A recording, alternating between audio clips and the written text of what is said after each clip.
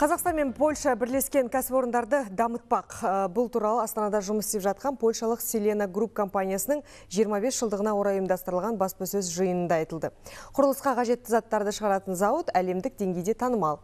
Қазақстандағы бөлімшесін осыдан 15 жыл бұрын ашқан.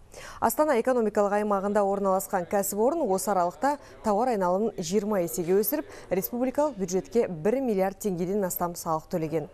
Бірлескен жоба аясында жұмыспен қамту мәселесі де оң шешімін тапты. Шара барысында компания өкілдері өздерінің заттарын таныстырып, отандық өнімдердің еуропалық стандарттарға сай келетінін дәлелдеді.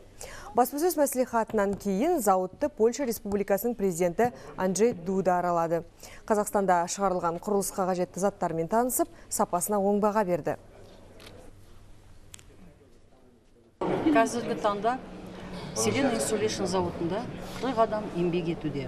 Көбінесе қазақстандықтар менеджерлеріміз өздерінің салалары бойынша польшада білім алуда. Және поляктар әріптестеріміз қолғабыс жасауда. Көп инженерлер осында келіп біздің жігіттерге білім беріп оқытып қамқор жасап осылай бірге халықаралық интернациональный дружба дегендей бірге жұмыс істейміз